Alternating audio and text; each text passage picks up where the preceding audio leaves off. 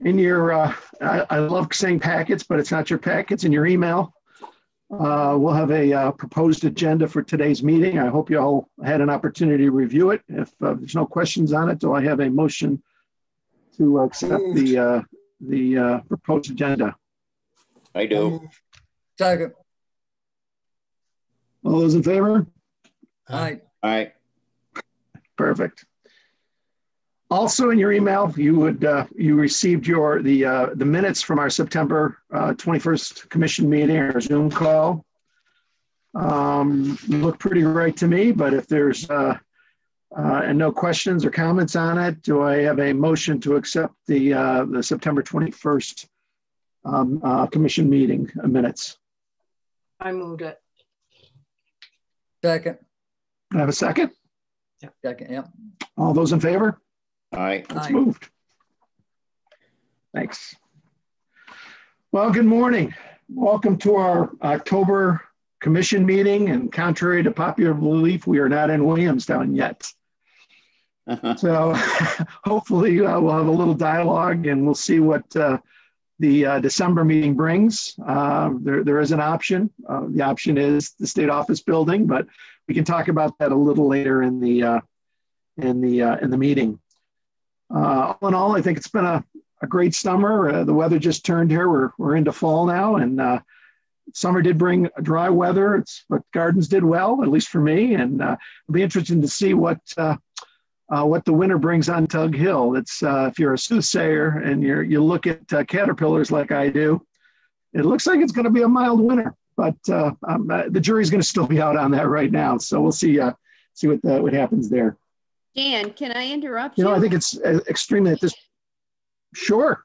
Because I, on my walks, I cannot believe the amount of caterpillars I see all over the road Yeah. on this, on these side roads next to me. What? So that means we're going to have a mild winter? No, that's the color. They're, they're I don't know. I think the, I don't know what the technical term is, uh, but I used to call them woolly buggers. Okay. Woolly bears. they're, they're a I've heard that. I know. Well, they're a black caterpillar. Probably uh, they they grow. The big ones will grow up to two inches long, and basically they're black in color. And the the old folklore was that uh, if the the center color, which is uh, like a tan or an orange, oranges, Right. The the bigger the the the, the color swipe in the middle me- means what the winter's going to bring. So I mean, if it's uh, you know if it's long, then you know the color is kind of dragged out. Then they say it's going to be a, a severe winter. If you don't have much of a color and it's more black, then they say it's going to be a mild winter. Am I correct there? That's correct, Ann. You're right on the money. Wow. I, I've just never seen so many like I have this year. It's just mind boggling to me. You, you, Yeah, you gotta be sure it's, There's a you lot. gotta be sure it's not the tent caterpillars because there's a lot of nests of those already. That's right. Leo, That's uh, right. Jan, just so The you other know, thing is if uh, we, we go ahead. Leona's joined us. So hi, Leona. I don't. Oh, You're great. muted, Leona, just so you know. If you touch your screen, you might get the microphone so you can unmute yourself when you need to. On your lower head, left-hand side is your microphone.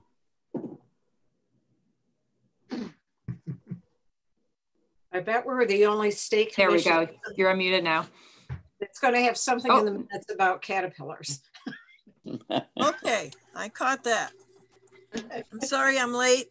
I had to run, run to Adams this morning and I got back and my internet wasn't cooperating, so. Oh, oh, We were oh, talking. welcome, Leona. Yeah. welcome. Yeah, we're we're talking about the winter, so or the potential winter here. So we'll see what happens. But we've had a bumper uh, apple crop here on Tug Hill this year, Yes. Yeah. The blackberries were heavy, Yeah. and so. uh, very heavy. Yeah, uh, the berries. We we spent a lot of weekends picking berries, so that's contrary to what the caterpillars uh, or caterpillars are saying. So we'll see what happens. I bet you we get some snow. With that, uh, I think it's in also. Yeah, there you go. Good one. Good one. You know, I think it's important also to note on this this call that uh, extremely important that uh, COVID nineteen at this point is not really going to go away anytime soon. So I think we need to uh, keep our, our, our vigilant in our personal lives and our work lives. Uh, we need to stay safe. You know, in my other life, I'm seeing a tremendous amount of uh, uptick in the amount of uh, positive cases, especially in the Midwest and the Great Plains. Uh, Wisconsin is going crazy right now. Uh, they're above, they're 10% above, well, their infection rate is above 10% right now. And as you all know, in certain areas, when hospitals become overwhelmed, that's when people die. We just don't want that to happen. So please, uh, you know, don't put your guards down. Uh, stay safe. Uh, you know, make sure you're social distancing. Wear a mask. And I think it's very important that if you don't have to go out, don't go out. As a uh, as a side note, um, being sequestered here in Montague, which is not a bad thing. Okay, you know, so is uh, been running out of things to read in my library. So, what's that? Especially during deer season. There you go. so I think as a side note, it's uh, been running out of things to read in my uh, in in uh, my library. So I, you know, I decided here to break out uh, my uh, copy that I bought in 1990, 1984 of uh, Cooperative Rural Planning. And this was our, really the start of, of the Cooperative Planning Board and the Tug Hill Commission. It was written by Elizabeth Redfield Marsh. It was, it was actually published uh, by the Tug Hill Commission. And you know, when I first got involved with government uh, in town, in the town of Montague in 1984, I got a, I, I think at that time Ben Coe gave me a copy of this, and uh, at, when I read it in '84, it was published in '81. I, I, really didn't know what they were trying to accomplish by this book. But to be honest with you, now that I am uh, uh COVID sequestered, let's put it that way, I read it a couple more times, and to be honest with you, you know, this book does a great, great job talking about our core competencies. It talks about the, you know, rural planning. It talks about natural resource protection. It talks about community de- uh, development, which is really our core competencies. That's what we've done well since 1972. So I think it's it's really uh, it's a it's a great read for those of you who still have it in your library. I pick up uh, something in it that I every time I read it, reread it, and I, uh, I do recommend that uh, staff members or uh, commission members, anybody uh, read it again or read it. And if, uh, if, somebody needs a copy, I'd be more than happy to mail it to you to, to read it. But it is a, it's a, uh, it's a good book, and I've got more appreciation of it some 30 years later. So it's that's a great thing. What, what's the name of it, Jan? with that, cooperative rural planning. If you want a copy of it, I could send it to you. Oh, I we have a few in the office too. I bet you I've got one.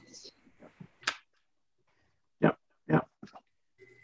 It's a quick read too. It's a nice book. So, uh, with that, at our uh, at our September uh, meeting, September 21st meeting, it was time again for uh, election of officers for um, 2021 2022, and we decided to appoint uh, Tom Leona and Jerry uh, to come up with a, uh, a slate of candidates as our nominating committee. And I guess at that point, at this point, we'd like to hear from them. Well, I haven't talked to Mike yet. I've, I've talked to Jan and Tom, and um, I called Mike and didn't get an answer, and and I haven't thought to call him back when I thought he'd be in. So, can do we? It's in November, right? Election? Uh, no, we, uh, uh, election will be in, in December. In fact, Oh, okay. let me, uh, no, it's good, it's good, it's good to break out the bylaws every so often too. You know? So I just want, so everybody does know, the commission members shall elect a chair, vice chair, and secretary. Term of office shall be at two years, with elections taking place before term expires and general terms shall commence on January 1st following the election unless the election is to, to fill a vacancy to complete a term which shall take effect upon closing of the election. Nominations of one or more officers shall be opened and nominations placed on the floor at a duly uh, constituted uh, commission meeting, and that would be today. Nominations shall remain open until the next meeting when other nominations may be made, so we can continue to make nominations through the December meeting. All nominations must be seconded in order to be considered. The election of officers for any vacancy shall occur at the meeting, uh, the first meeting after the initial nominations were received. So we don't have a November meeting, so that would be December. Is that correct, Katie? That is correct. Thank you, Jan. So I should have called Mike several times. I didn't, in fact, I didn't call him. I emailed him and didn't get a response. So I'll, Well, uh, for some, for some reason I didn't get that, Leona, sorry. So are you willing to serve again as vice chairman? Sure. Okay. I mean, the So- pay is fine. The pay, I like the pay, extra pay, so. Yes, the pay is good. So Double the slate of officers. Mike, that'll cover your, that'll cover your internet access in Redfield. Yeah, exactly. Yeah, exactly. So, so our slate of officers um, is Jan Bogdanovich, Mike Yerdon, and Tom Boxberger. A Lot of changes there. Yeah. They've all accepted to run again. Do we have a second? Second it. Okay. You Don't have to vote on it. The way the the nominations basically say, that's all you need is a second to be considered. And again, please keep in mind that, uh, uh, is there any other nominations that uh, want to uh, uh, be uh, brought out today? And again, keep in mind that we, we can make nominations right through the December meeting. Okay. Good. Any other nominations?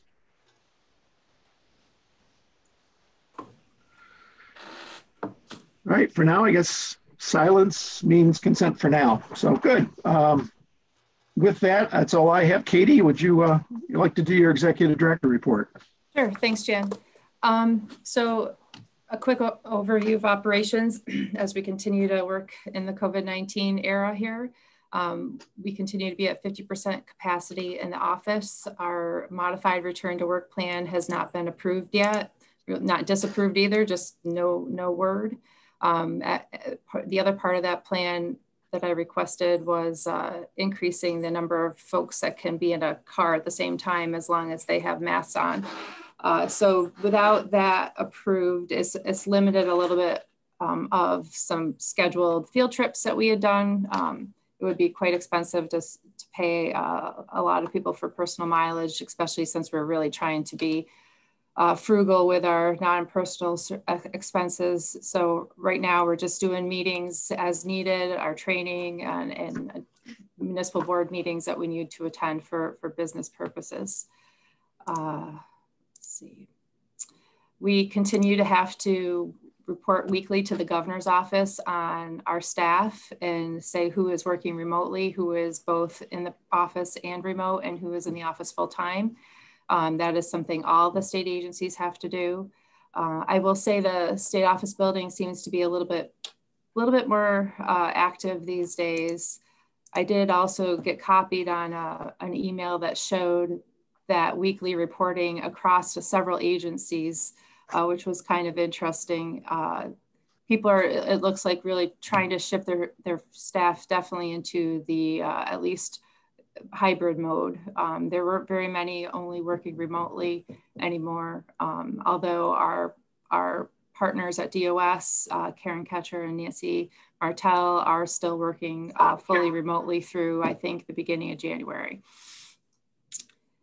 Any questions on operations? No. Uh, as far as the Katie, budget, uh, oh, Katie, yep, Katie, uh, yeah, just a, a quick note. Thank you so much. I was, uh, I was welcomed. I, I spent that commission offices on the sixth floor a week ago Friday, and that was thing. I had my mask on. I had my hand cleaner, so I had that. that went real well.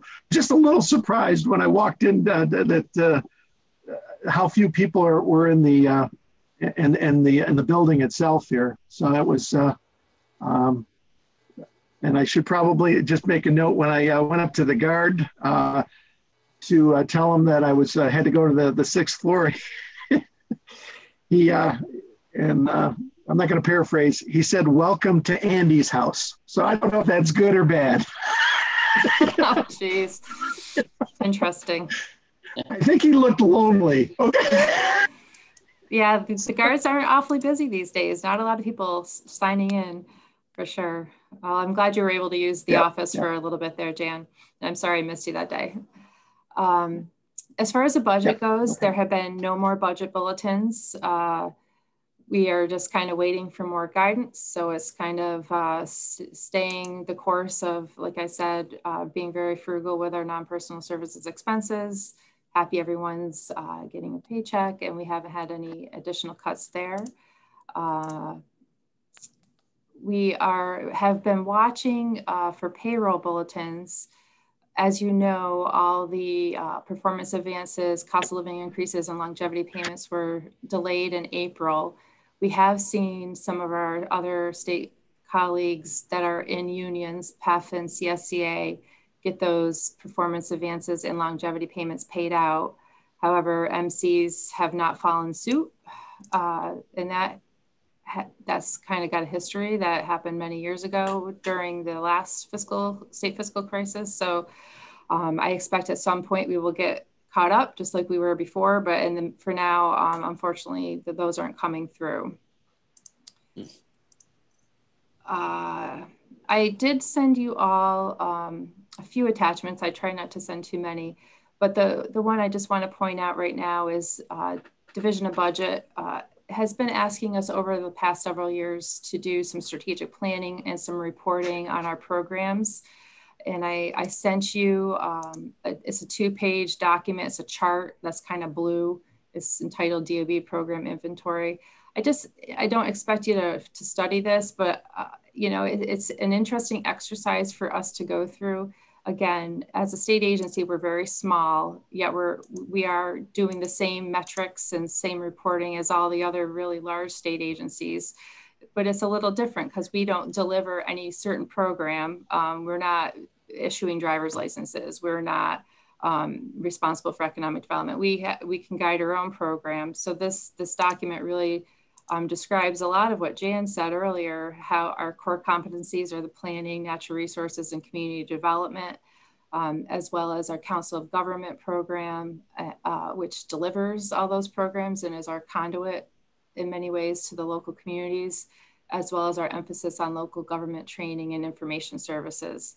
So in this document, you'll see uh, all these all these metrics on the left-hand side are things that DOB um, prescribes, and we have to come up with how we want to measure ourselves. We were required to have three measurements, and so we, we took our best shot at that. And uh, I, would be happy to answer any questions at any point. I'm going to go over this with staff as well. Uh, Matt and Jean have helped me and Phil in the past with this, but um, I'm going to share this more broadly, especially because it was expanded this year. There were quite a few columns to, uh, to populate, and not everything that we do is easily quantifiable, but they want numbers. And uh, so we, we did our best to do that. Again, much of what we do is based on our requests from our communities and our councils of government. So it's not things that we can force to make happen. There are things that we work cooperatively with people. So uh, that, that's a little bit of an interesting uh, situation to be in. Was there any questions on that? I'm sure you all studied it all weekend long. Yep. Yep. Um, hearing none.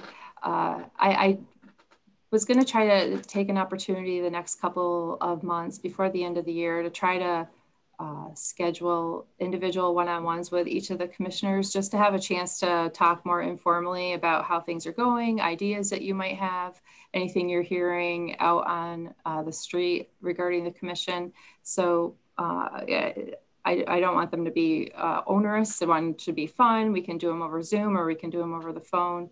Um, but just kind of have a little bit of a debrief because I've, I've missed personal interaction with, with most of you. So I'm kind of trying to look, look for that. So uh, I will be reaching out to schedule those in the next few weeks. And lastly, what else do I have here? Um, we had some fun uh, at the end of September. We switched from a purely online webinar driven delivery of training to uh, a couple of hybrid training events. We did one in Lowville with uh, our staff. Matt pr presented on Zoning Board of Appeal basics, uh, and Elena was with him. We had people in the room, plus we were uh, delivering it live via Zoom at the same time and interactive at both on both ends. We also did a second one in West Carthage with attorneys from Conboy, and we were talking about. Um, well, I just just spaced it. What were we talking about that night? Or, or no, I'm sorry. They did the ZBA basics, and Matt did uh, looking at your zoning law and evaluating it whether it needs to be amended. I would say both of those went um, pretty well. We figured out the technology. Uh, people both in the rooms and online seemed to enjoy it. We had questions, um, but we had a lot more people online than we had in the rooms, uh, which was interesting. And we had some feedback after the sessions that people hope that we continue to deliver the online with the in, in person. Some people like being able to do it from their homes. Um, they like to try to set up in their communities, like a joint meeting where all the planning board members are in the room watching it together so they can kind of generate some discussion amongst themselves while they're watching the training. Um, so it's going to be interesting to see how this all pans out uh, long term in terms of delivery of services and, and, and changing of that. Uh, so, so that went well. I don't know if um, anybody who was there, Jean was there at one of them, Elena was there. Did, did you have any other comments on the hybrid trainings?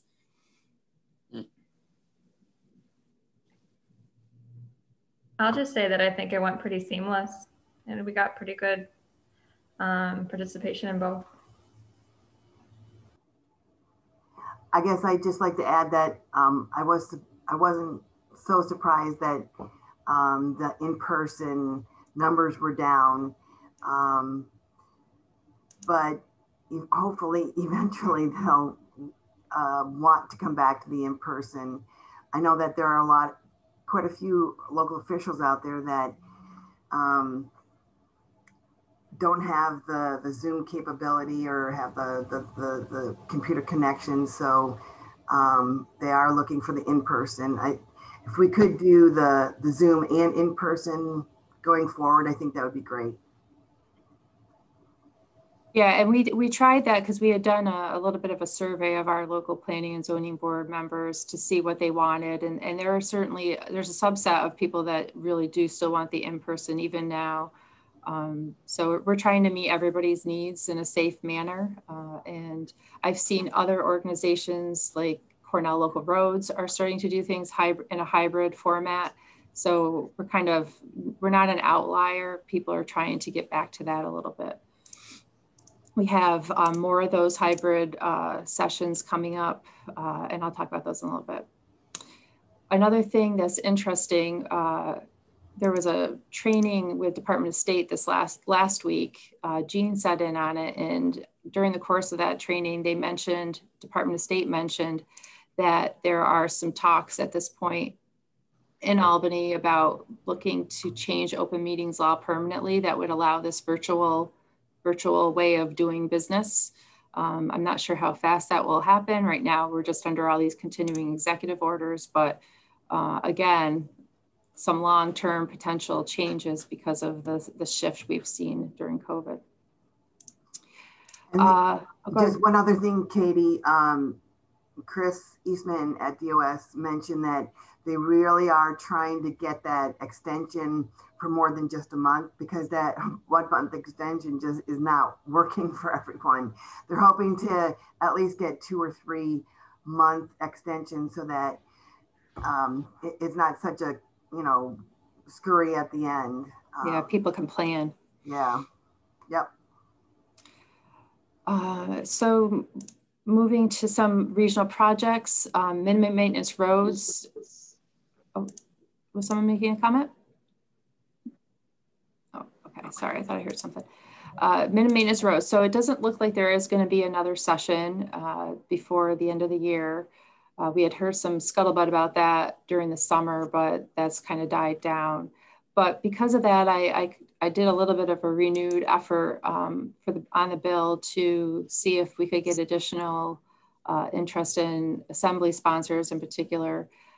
Uh, we now have the entire Tug Hill delegation on the bill, um, Assembly members Buttenschon from Oneida County, as well as Assemblyman Smullen. Uh, both were added um, more recently. So that's um, some good news. Uh, we also have been talking to the assembly side, the Rural Resources Commission members, because uh, this really is a rural New York issue and seeing if there was support there. Assemblyman Santabarbara, who is the chairman of that committee, has added himself to the bill and uh, still talking with some other offices and perhaps post-election we'll get some, some additional add-ons. Um, given that there's not going to be a session likely this the rest of this year. This will end up being renewed for next year. This is 2020 is the end of the legislative session, so there'll be a whole new legislative session starting in 2021. So we'll have new bill numbers. Uh, all, all the uh, sponsors and co-sponsors will be carried over to the next legislative session. So that's kind of the goal right now.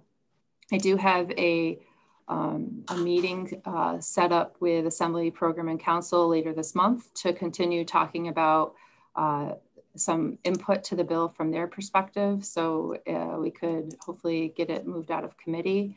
Um, additionally, uh, I've heard that the Tug Hill delegation may do a sign-on letter come the first of the year. Uh, so it would come from all of our senators and, and assembly people on Tug Hill uh, to others in the state legislature to try to gain some traction. In terms of West Turin and the current uh, situation that they're in, uh, you'll, you'll, remember the Weichel West Turin case has been floating around for a while. Uh, at last time it went to the appellate court, it got thrown back on basically a technicality. The landowner, Mr. Weichel, did refile. Uh, Judge McCluskey ruled in his favor. The town of West Turin appealed again, and it was fully submitted in July to the appellate court by uh, actually Mark is Mark Gibo is still still a, a, serving as the town's attorney in this case uh, despite his retirement. And so now we're waiting for an opinion. The, uh, everything's delayed due to COVID, but I looked on their website last week. It does seem like they're starting to really um, listen listen to cases again. So we'll see what comes out of that. That could be uh, really important either way it goes. Another piece of legislation, the Lorraine Worth Court consolidation legislation uh, still has not been delivered to the governor.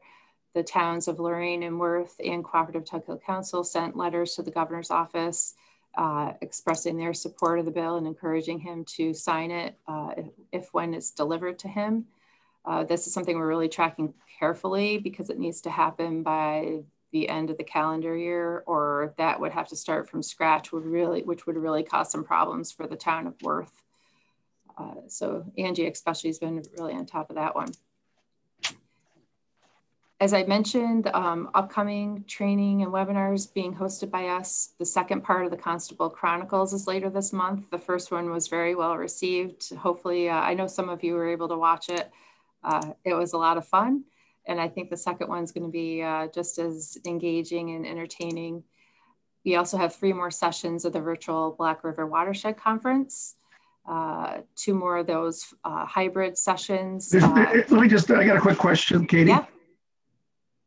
Okay, just a quick question. Is there any issue from uh, from a technology standpoint with this, uh, the uh, Constable Chronicles if we send the link to people around the country? Uh, and as, far, as long as they register, there's no problem with the, the, the, the number of people that are going to join this? we might have a 500 limit. I can't imagine we'd hit, hit okay. 500. I see Jen's nodding. No. We, we do have 500, but if we did, that would be a great problem to have. And we are recording those and putting them on our yeah. YouTube our YouTube channel. I mean, we've got quite a number of videos on that YouTube channel now, so they would be able to see it after the fact too. There was a little blurb okay. Herald about it. It's okay to, to forward that that to anybody, and as long as they they, they register, we're fine. Yes. Okay. Jerry, were you saying something? I, there was a little blurb in the Boonville Herald about it. Too. Yeah, we put a press release about it. Yep. Okay. Um, so two more planning and zoning board sessions at the end of this month Matt and Elena um, doing one on planning board basics in Florence because Florence now has really good internet and uh, that's one of the prerequisites for locations that they've got to have uh, really solid Wi-Fi so we can do all the, the transmittal of data that we need to do. Um, and then the second one is renewable energy and land use being done by Dave Gerson and Jim Burrows from Conboy in the town of Watertown at the end of the month. Um, again, hybrids. So look for those. There's been information in the uh, Hill Times on those. Uh, assessors training, we had sent out, um, we had gotten a question, I can't remember exactly how it came about, from an assessor asking if we were going to offer any assessors training, since again, we did not have the LGC and we always have an assessors track there. And so we took that and um, did a little surveying of assessors. It seemed like there was some demand out there. So we have scheduled an assessors training for November 18th at the Tailwater. It would be in person only. That doesn't really lend itself to a webinar format. We've got, I think, half the barn. So we have plenty of space to um, space people well more than six feet. Uh, and will require masks when not seated, all that kind of thing. So the information on that went out on Friday and we need responses by November 11th. So that's another training we're doing. Mm. And I think I sent out a, a, a training events. Uh, we keep track of these. This is something easy to track, uh, showing what we've done so far. And even despite the uh, LGC, we're looking really good. Right now, we've had a little over 1,300 people attend our trainings, and that's uh, with seven or so still pending. So our numbers are, are not going to look bad. Uh, luckily, this webinar thing has really kind of started to get some traction and we're seeing a lot of participation. And then the last uh, last thing I was gonna I wanted to discuss was the 480A issue paper. Uh, sent that out to you all on Friday. Uh, 480A, as many of you have heard over the years, is just it's it's got some issues for for places like Tug Hill and, and towns that have a lot of uh, 480A properties over the last couple months, uh, Osceola has really uh, shown some serious issues with Corrigan Molpus uh, applying for 480A on their East Branch of Fish Creek properties and getting that approved. So come the first of the year, uh, things in Osceola with their budget aren't looking so good. Uh, so we have put this paper together. Uh, it, it, it, it's a policy, it's really a policy recommendation that this some this conversation about 480A reforms need to continue. We point out several um, suggestions and we are also sharing this with partners to get their feedback before we would put this out as a final. But um, I don't know, Jen and Angie have been working on this in the weeds. Did either one of you want to make any comments about it? I would just say, like Katie said, we sent that out to um, four four people on Friday, late Friday, and heard immediately back from Fran Yerdon, who was pretty happy that we had kind of put it all out there.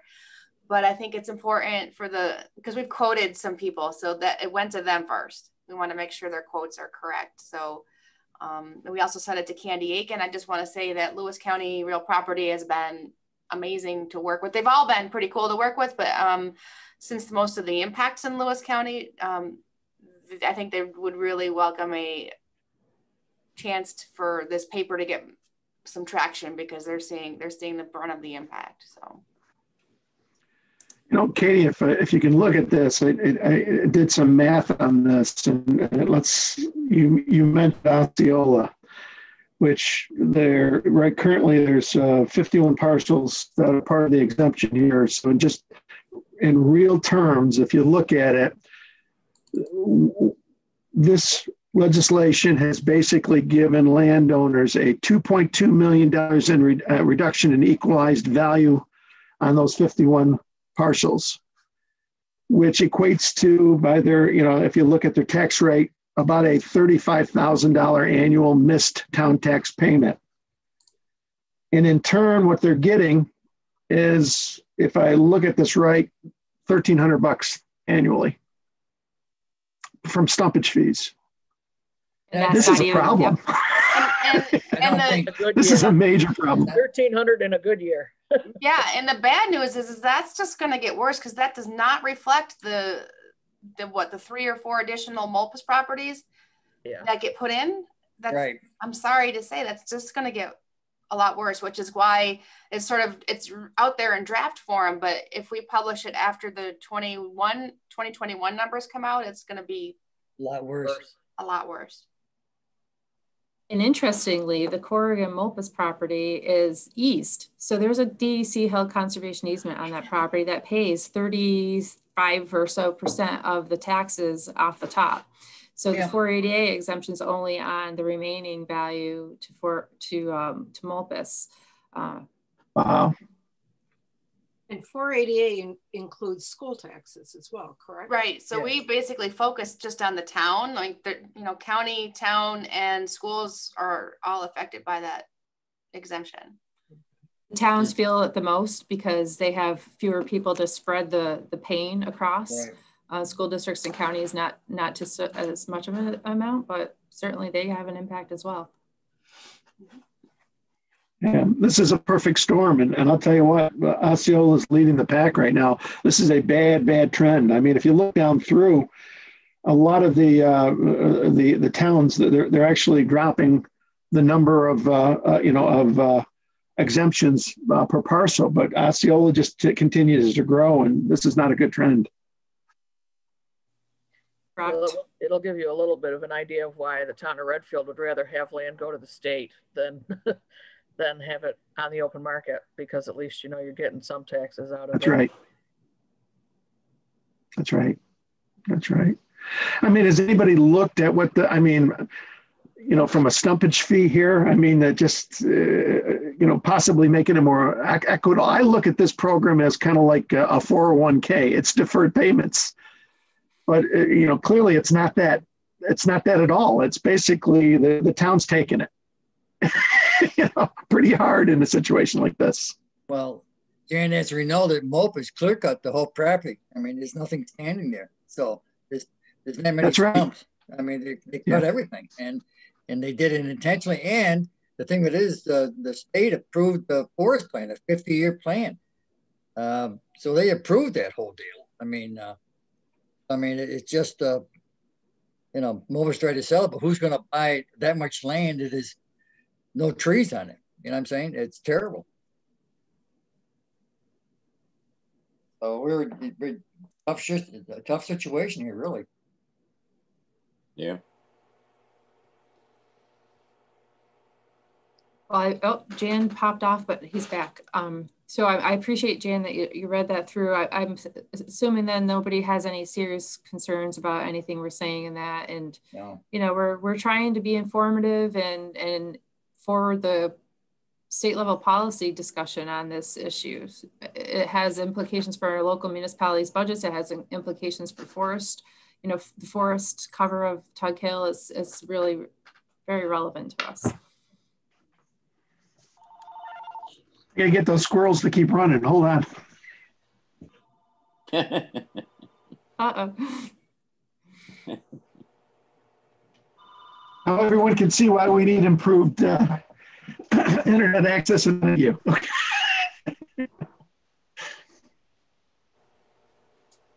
Thinking about, about the schools, I know this was like maybe 20 years ago. There was a large parcel uh, between Boonville and Forestport uh, that changed hands that had a lot, that had a 480A on it. Uh, well, the new owner went in and did extensive cutting in violation, and then they had to pay back money.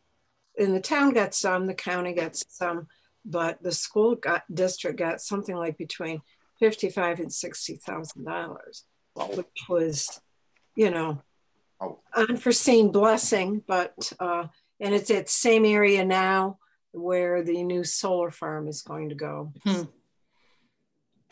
Interesting. Yeah. Yeah, Katie, was a, co- a copy of this to, uh, let's see, Osceola, is that Blankenbush?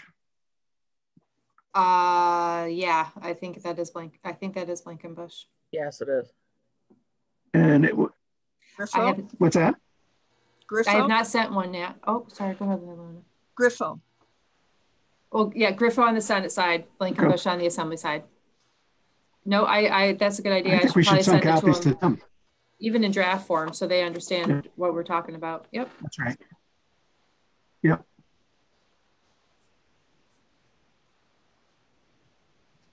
Any other thoughts or comments? nope. when we talked to Fran Yerdon at the last CTA. So what you're saying, what you're saying, Mike, is that we'll not we'll not see another stumpage payment from from uh, Molpus or from the the parcels in, uh, that that that are are owned by Molpus for probably know. 30 I mean, years. That's I don't know. That's uh, I mean, a lot of it was clear cut. The clear cut, yeah. uh, the uh, we didn't mention, but uh, we also we also plan to uh, share this with our uh, colleagues at DEC uh, in, in, the forestry office, Rob Davies and and company. I also was on the for, for them to comment. I, I, I, know they really were in favor of a lot of the reforms that were being talked about to 480A a few years ago and were frustrated when those didn't get enacted. Uh, I did talk to John Bartow last week and this came up and he, he had some interesting insights. He thought perhaps um, there would be an appetite to look at this at reform again, especially if it was couched in terms of the climate, all the climate efforts that are happening right now. And it could, you know, if you could talk about it in terms of carbon storage and sequestration, um, part of the problem is going to be, especially on the reimbursement portion to communities, where's that money going to come from? If we're talking about keeping everybody to a no more than 1% uh, impact to their, their municipal budgets, where, where's the money come from? But all, all good thoughts so we can blend this into the current conversation. I wish there was really good work the to lean on DEC for permitting such such slaughter of the forest. It's terrible. It's it's awful. Uh, Jan, if you remember right, uh, up in Constableville uh, a couple years ago, when we had Molpus here at our uh, spring of fall dinner, this issue was talked about then, and uh, at that time they hadn't cut all the trees, but since then they've cut the rest of them. So you know. So we've talked about this before, and uh, and I think I think we talked that night to the DEC people, and you know, they you know, who knows why they permitted that? They wouldn't do it on their own property. Yeah. Well, very good. Thank you. Good work on the good work, Katie. Stay, uh, you know, bring this up. This is really good work. I appreciate this. Thank you. Thanks, and thanks to Jen and Angie on uh, a lot of that work.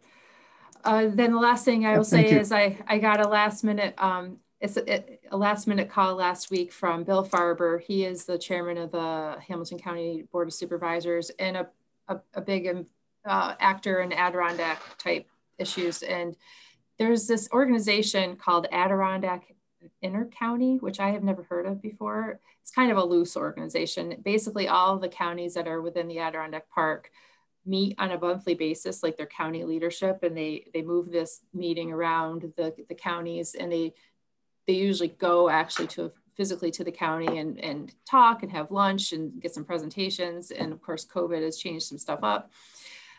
In October, they're in Lewis County, and uh, there were no presentations right off the bat that were um, identified, I guess. So Bill thought of us and asked if I would like to do a presentation about the commission and the work we do and um, and how some of what we do relates to the Adirondacks. So I'll be doing that on Thursday, um, which is a really good place for us to be. Um, you know, I think think we have a lot in common with the Adirondacks. We're always kind of running into each other, and so more give and take, uh, the better. And so just let you know that there our our name continues to be out there and people people are looking for us to, to bring a voice to the conversation. Um, I will say the climate action councils and the advisory panels, um, I've been on a couple of meetings so far. I'm not sure exactly how that's um, all going to play out. Uh, it's interesting. Uh, it could probably take 100% of my time if I had the ability to, to devote that much of it to it, but obviously that's not going to happen, but it is going to be a little bit of a time, a time suck for a few, several months. Oh. And with that, I'm done. Let's roll right into the uh, Council of Government report. Um, it's uh, your choice, Katie, how, how to do this. Sure. Um, let's see. I think I had an order. I switch. I try to switch them around. So Salmon Rivers and North Shore. Paul, do you want to go first?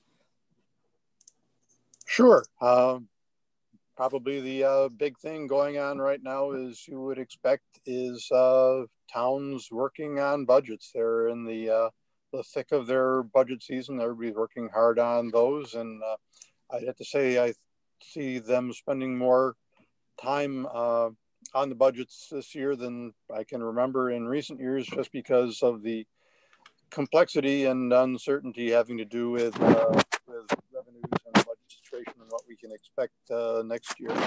One new twist in the whole uh, budget uh, saga is that uh, several of my municipalities have had budget lines related to the coronavirus and expenses they've had with uh, doing monitoring of people coming into meetings and additional uh, cleaning and sanitation uh, needs uh, following up with those meetings. So that's been a, a new and additional expense. The uh, the good news, to the extent that you can say anything related to coronavirus, is uh, good news. Is that so far sales tax revenues do not seem to have been uh, significantly impacted by the coronavirus. The numbers have been coming in pretty close to around to what they have been in the past. As I'm sure you've heard, uh, payments from the state in some cases have been reduced by a certain percentage. And uh, municipalities are not sure what they want to do about budgeting in those categories next year since the uh, announced intention is to restore those funding amounts back to uh, normal levels next year. But of course, with what's going on and the continued uncertainty, there's no certainly no guarantee of that. So communities are are on they're they're they're wary about how much they want to uh, to budget. And considering that even if they do budget the entire amount, they're aware that they may have to reduce spending in the new year if the revenues don't come in at the levels that they are currently budgeting for. So that's probably the big thing going on in North Shore and Salmon Rivers. Thank you, Paul. Uh, Thank you. Uh, Angie, Cooperative Tug Hill Council.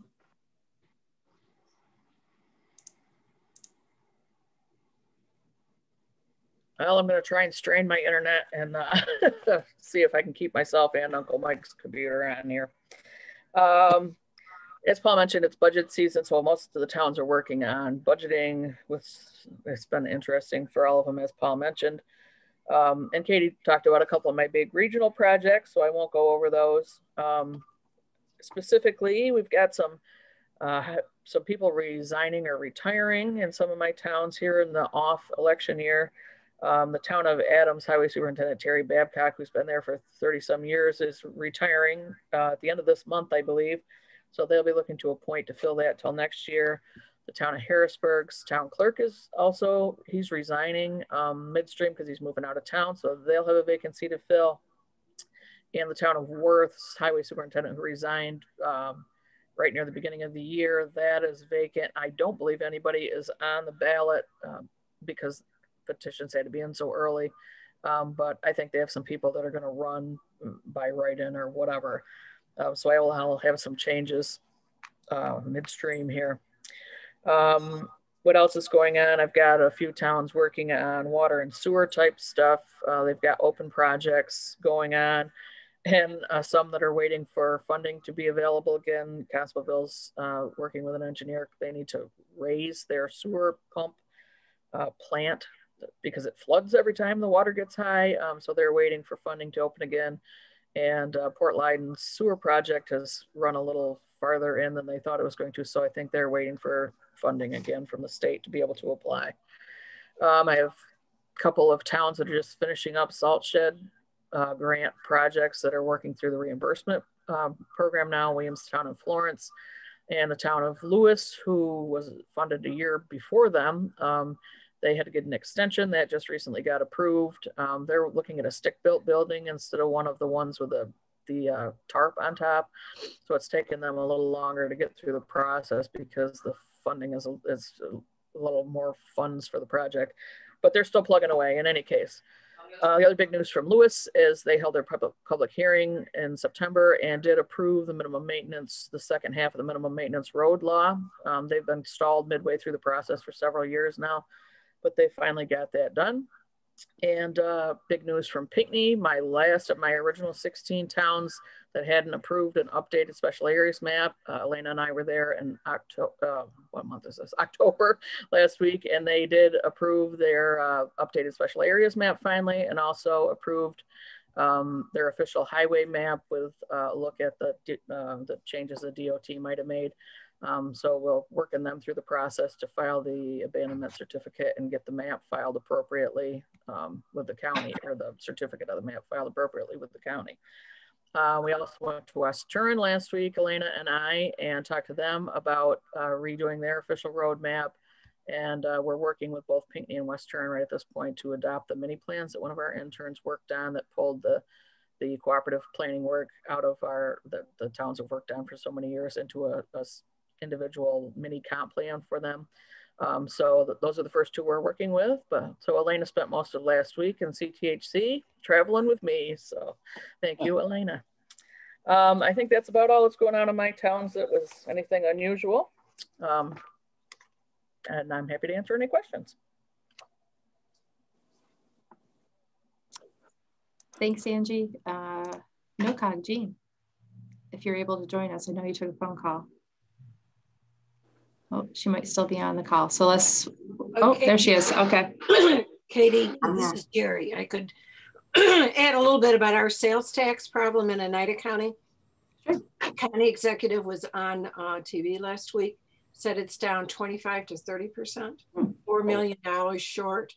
Uh, additional problem, um, what was called or is called the Nexus Center in Utica, a multi uh, venue complex being built next to the Utica Memorial Auditorium was halted in the spring. The company that was doing the work has filed suit uh, against the county and the uh, Utica Auditorium for non-payment of work. And they have not been able to pay them because they do not have the funds. So that was going to be an additional draw into the area. There was going to be a casino there uh, restaurants, etc. So that has all stopped. Uh, they don't know what they're going to do at this point. But uh, Picente said that they are $4 million short. So all the municipalities are going to be getting less money than what they budgeted for. Uh, and, you know, have been asked to make further cuts. So. Hmm. Hmm. Not good news. No. And also additionally, uh, Jerry, real quick, Jerry, is the is the hos- regional hospital still going through in downtown? Yeah. It seems like it's going through not as quickly, but it you know when you go by there, uh, there's work going on. There's a lot of construction through that area of the city because they're also working on the road. So it's like every time when you go in that downtown area, you really don't know where you're going to end up so for the most part, I've been kind of avoiding it. Uh, to go way back to the training. Are they are they taking? Is the city taking property? Or city take, taking property by eminent domain? I believe that they started doing that uh, earlier in the summer, but I haven't heard much about it lately.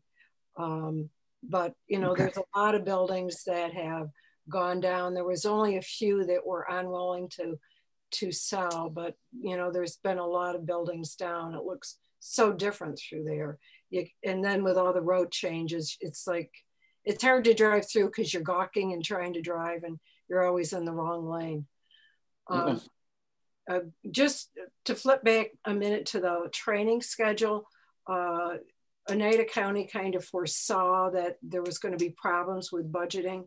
uh, the local government education committee, with a lot of help from Carla, have set up a training tomorrow night, uh, how to budget during this tough time for counties and towns. Uh, Laird Petrie is going to be doing it. Uh, we had quite a few people uh, sign up.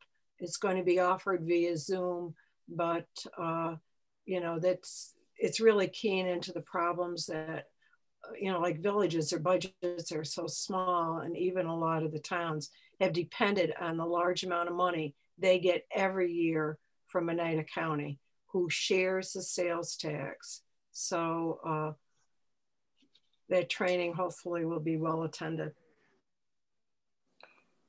thank you for reminding me of that one Jean did you want to talk about NOCOG? Yep. Um, October was the first month that we had Lisa Bellinger on as an associate contractor. Um, so between Lisa, John, and Harlan, they covered all 17 uh, NOCOG communities. Um, Lisa got back to me with a couple questions. Um, I think she'll I think she'll do a good job for us uh, and for NOCOG. Um, she signed a three-year or three-month contract, and hopefully we'll sign a, a one-year contract uh, as of the first of the year. Um, the um, we sent out, I sent out the um, the annual NOCOG business um, uh, meeting uh, information to all 17 communities at the end of um, September and asked them to complete a survey uh, by October 15th. Um, by last Thursday, I only had four responses. So I emailed everyone individually on Friday asking them to, um, to, to complete the survey. And today I just saw we have 10. So at least now we have a, a, majority, majority um, I'm looking at those surveys as a vote from each of the communities. So at least we have a majority of everyone voting on, on the business, which included approving the minutes from last, um, last um, meeting, um, approving the budget, and um, approving changes to the bylaws, and one last thing. Oh, um, voting on the, the uh, the NOCOG um, executive committee members, officers. Um, we have, NOCOG has, has offered the um, uh, an associate contract to Joe Rollins, who is the supervisor for Steuben, come the first of the year when uh, Harlan is due to retire. That will um, keep us at three associate contracts to cover all of the 17 NOCOG communities. Um, and then staff in Watertown can cover uh, meetings as needed, but hopefully the three, uh, Lisa, John Hilt, and um, Joe Rollins will be able to cover all the all the meetings. But since Joe is also on the NOCOG executive committee board, um, he's going he will need to step down. Um, we will have a NOCOG executive committee meeting in December to discuss this. Um, but in, in the meantime, I, I, um, I have reached out to Ed Davis to see if he would be interested in being on the executive committee since he was one of the um, ones that threw his name in the in the ring for associate contractor, and we uh, we didn't we didn't offer it to him. So I asked Ed if he'd be interested in being on the executive committee, and he said yes, he would absolutely want to be on the executive committee. If, and I made his day. He's always um, Ed is planning board chair in the town of Lee he is, um, he loves the commission and he loves NOCOG. And I think he'll be a good board member for, for NOCOG. So um, I think that's I think that's all I have. Can you think of any anything else, Katie? No, other than um, Joe is also going to. I, I hope I don't know if this is news yet, but he will also be stepping down as supervisor for the town of Steuben. It's something he's been thinking about for some time. Um, so they're going to have a vacancy that they'll have to appoint and then do an election for. And I think, well, Joe became supervisor because, well, the two previous ones died in office. So there was kind of a big void there. And Joe's got a lot of energy, did a good job, but I think he always saw it as temporary. and it's been temporary, I think, for three years now. Wow. Yep. And I so, think he, will he'll do a good job in this. Oh yeah. Yeah. So we continue to keep all the balls in the air and no mm. cut. Good job, Jean. Thank you. Um, and RACOG, Mickey. Yep, uh, I guess the biggest thing's probably been the LED lighting project. Uh, I know September was a real busy month with individual meetings for every municipality. There were 16 participants in the shared service project for the LED lighting. Um, of those 16 so far, a ton of Lyme dropped out like right after we submitted for the grant because they had, I think, other things going on they want to focus on. And Champion did opt out of the program. Currently, uh, West Carthage, Wilna, Copenhagen, Deferiet, Lyons Falls, and Croghan have all opted into the program. And then I'm expecting, uh, got pretty strong feelings from these communities from talking to them that Village of Lowville, Carthage, and Town Martinsburg will be uh, proven to move forward. And then that will leave us with uh, Castorland, the town and village of Adams, Sackets Harbor, and Denmark as far as the communities that I'm just not sure. Uh, town of Denmark actually is going to need to piggyback either with Copenhagen or Castorland. So they only have a few lights. So I expect they're going to go with Copenhagen to do that right now. Um, part of that project we did find out is that Jefferson County was doing their shared service plan and they are going to approve to add the LED lighting as part of their shared service plan, which um, according to Scott Burto, mayor for Village of West Carthage, he said that that will mean that uh, the communities in Jefferson County will get a rebate after the first of the year based upon a percentage of their savings. So they're going to actually get a little more money back out of this project from that. Uh, in the process, I talked with Katie, and so Katie reached out to Ryan Piche from Lewis County, and they weren't really doing anything with a shared service plan, but they did ask us if we could help assist them in doing a plan for these communities in Lewis County related to LED lighting. So I think we're going to look into that and uh, uh, try to do that so they can also get that same type of rebate. Uh, also, railroad bed between uh, Carthage and Lowville. Uh, Ron Trottier, the developer there, he has now purchased the building, the depot in Carthage. Uh, he purchased the railroad buildings in Lowville. He has, I think, a long-term lease on the railroad bed uh, between uh, Carthage and Lowville and also out to uh, Croghan. Um, he's looking at doing like a little scenic railroad type thing from Lowville to Croghan and looking to do pedal cars between uh, Lowville and Carthage with Castorland being the midpoint, the turnaround point or ending term, terminating point. So um, I know he did move a locomotive. There's a locomotive sitting over by Lowville Farmers Co-op now that he moved up from Pennsylvania, and there was an article done on it probably about a month or so ago um, in the newspaper related to that. So there's potentially some activity that's going to be taking place there. Oh, he also did buy the Memories restaurant also, and he wants to add docks in there so people can boat up there and have dinner and that type of thing. So, so there's at least some stuff maybe happening there. Uh, also been working on Lowville, Town and Village of Lowville are doing a joint comp plan.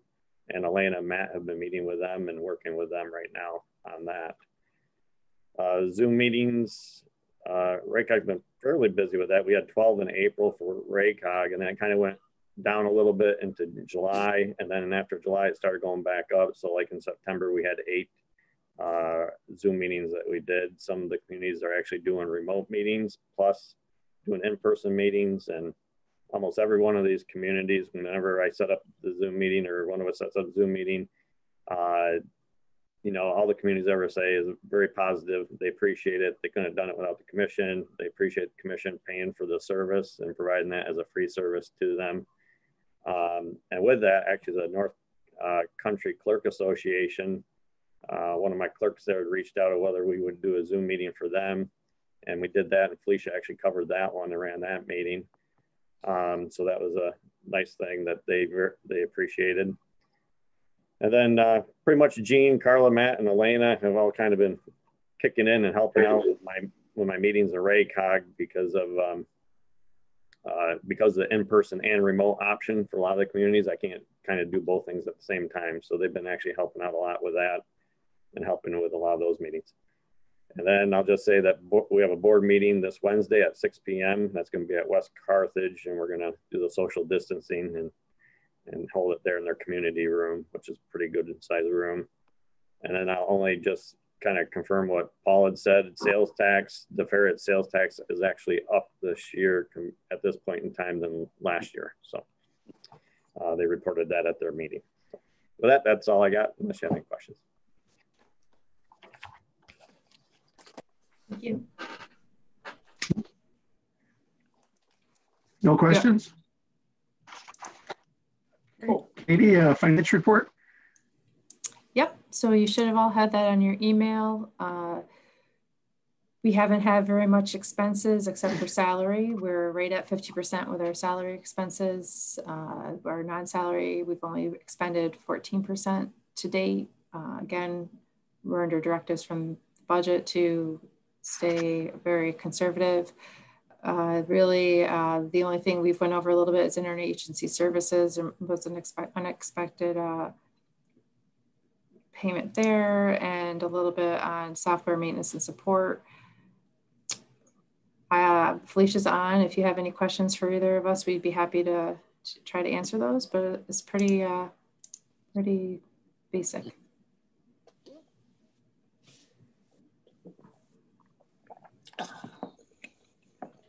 Any questions? Nope. yeah, just go ahead. No. You know, sometimes I say that I have some real superficial, deep thoughts at times. But I'm just curious, um, what have we decided? What, what have we decide, decided on uh, on our December meeting? Is that uh, we're going to continue with Zoom, or is this something we want to talk about? Possibly trying to maybe get, you know, is it the third floor has a huge room at the state office building? I'm just up for anything. I'm just curious what your thoughts are. I may find out something different um, this week, but I don't expect so. So I'm going to be Zooming as my only choice for a while. Okay. All right. This uh, you know, I'm, I'm, concerned. So I just want to make sure that we can, can accommodate every, uh, you know, everybody. Uh, the Zoom is fine, but I'm just, uh, um, just curious if that's something we might want to try to do. We can do a combination of both or, and meet. It's it's entirely up uh, to to the, the members. That's how I look at it. I, I think it would be nice to do a combination, maybe, uh, I, you know, unless things get worse between now and then. Uh, I think there are more cases in Oneida County than either uh, Jefferson, Lewis, or Oswego counties, but most of our cases are in the lower part of the county in the Utica Rome area. Uh, also, I'd just like to mention if Harlan's retiring at the end of the year, even though NOCOG and Tug Hill are separate, he's been involved for 25 years. And um, yep you know, I'd like to do something to show some appreciation. So, you know, this this is a, a it, it would be a, a, a public meeting, an open uh, open door meeting. So I'm just curious if the state office building would number one allow us to do that. Number two, uh, there's a very big conference room that we've used in other years. Right. Is it on the third floor? 11th floor. Just 11th curious floor. if we, you know, what, what is that? It's the 11th floor, but yeah, there is a very large, there's a couple of oh, very is it? large okay. rooms. Yeah. Yep. yeah. We've been up there several times. Just curious, this is something we, we might be at least plan for. We've got 60 days. It might be something we can plan for. It'd be nice to get together. I really enjoyed myself at the uh, at the retreat in Boonville. but you know, maybe we can do a combination of Zoom. A lot of things change in 60 days, so it would be tentative. Yep. But uh, if, if everybody's okay with it, let, us explore the options. If, if, if I certainly, could. I, I certainly be in favor of that, Dan. I think it's nice to get together.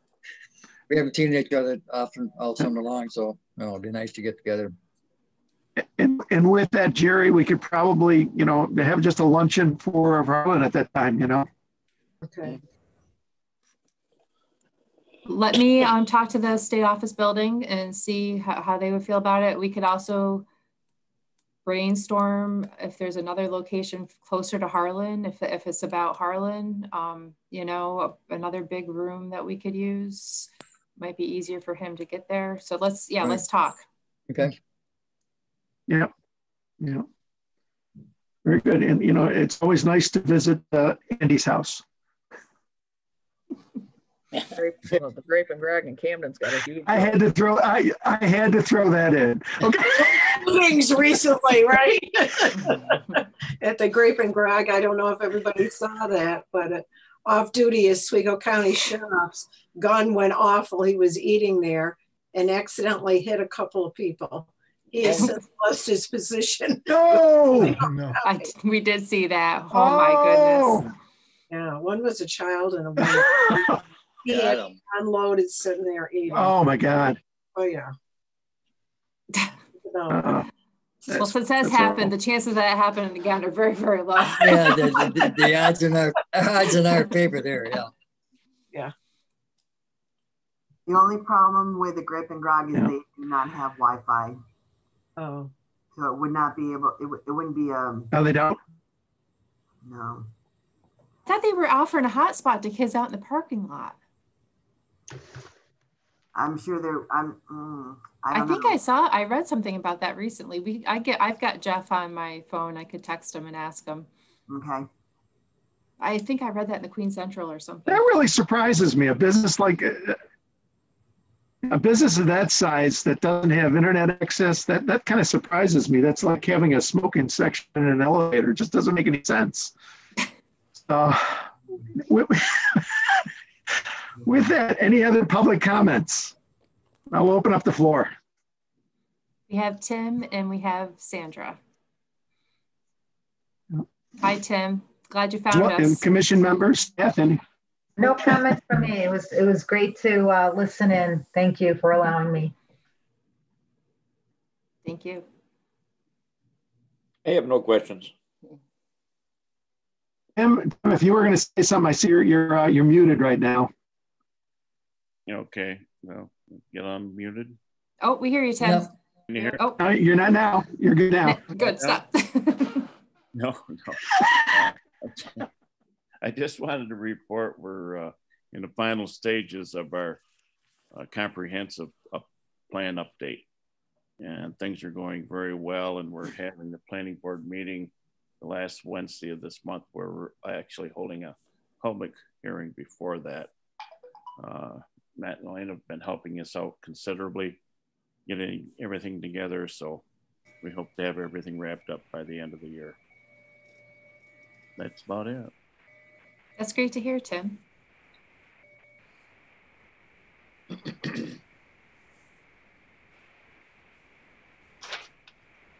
Just one quick note, um, uh, maybe Ange can help me out on this in regards to um, a little bit on this 480A. Uh, Osceola's town budget, uh, I think uh, if they do, they keep the budget exactly the same total as last year. Um, you'll have to, what was, what was it, Ange? Uh, five point some percent increase. Um, you're not changing anything. Yeah, uh, according to Fran Yerdon at our CTHC meeting, if they keep a completely flat budget, the taxes for the other people are going to go up at least 5.6%, I think he said. Um, they haven't finalized their budget for this year yet, obviously. So um, I, I'm sure they're going to try and mitigate that as best they could. But I don't know how much you can mitigate a budget that's as slim as Osceola's already is. Right, exactly.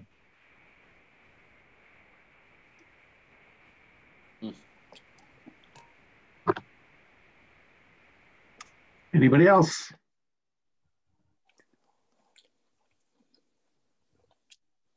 Katie, did you turn the cameras off? I did not, but yours is off. I don't know why. I'm asking you to start your video. Must hit the hit the button, Jan. I did. It's like a placebo. I've hit it a few times. It wasn't me. I didn't I didn't use my control for that. Oh, there, There you you are. go. You're back. You see now. He's back. Which is interesting. I'm back, but I can't see none of you now. Zoom's telling you to finish the meeting before it totally falls apart. I just wanted to say to our guests Well, that guests are always welcome. We're always glad to have people tune in. And don't forget the Black River um, thing that the commission is doing online. That's pretty neat too. The, the Constable Chronicles are great and so, so is the Black River thing. Wonderful. Thank you. anything else? Any comments, questions, queries, anything? Nope. No, Well, with that, Oh no. I think we just lost Jan completely. yeah, no picture, no oh, voice. Let's adjourn quick. I, I make a motion, we adjourn. Second. Second. Okay. Jan, can you hear that? They just moved to adjourn. He's Got it. coming back. thank you. All in favor? All right. All right, we'll see you all in December. See you one next time. other. Okay, see you, Good luck, gentlemen. everybody. Okay. Be safe. Take care. Thanks now. Bye. Take care.